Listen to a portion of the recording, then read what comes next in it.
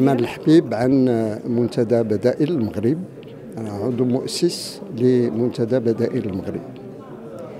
طبعا اليوم كان بعد ثلاثة ديال اللقاءات سابقة حول مواضيع أخرى طرحنا الإشكال ديال حرية التعبير في عصر الرقمنة لأنه كاين مشاكل وكاين واحد الغموض في القوانين وكاين شباب اللي تعتقلوا لعدة أسباب وكاين ناس اللي تضروا وما كانش يعني إنصاف لهم إلى آخره فحاولنا ما أمكن أنه اليوم نقربوا واحد مقاربة آه، متعددة الجوانب من باحثين من فاعلين من مؤسسات أنه نشوفوا أشنو هما الخلاصات وشنو هما النقاط اللي ممكن نشتغلوا عليها وندابزوا عليها باش يمكن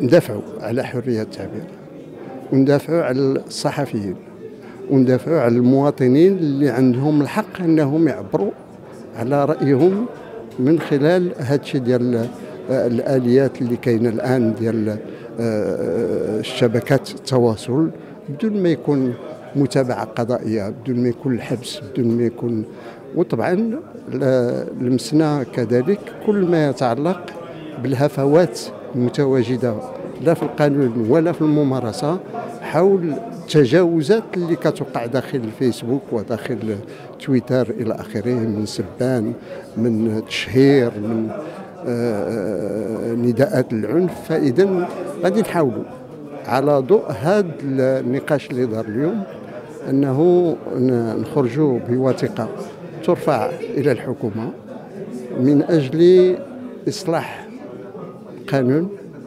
قانون المسطره الجنائية بالأساس ولكن كذلك إلى آه، اقتراحات عناصر من أجل ضبط أخلاقيات كل ما يتعلق بهذه آه، الفضاءات ديال التواصل الاجتماعي علما بأنه اللي ضغط عليها وقبضها بالدرجه الأولى هو مؤسسات دولية وهذه المؤسسات الدولية إلى حدود ساعه على الأقل في علاقتها مع المغرب لا تحترم الضوابط.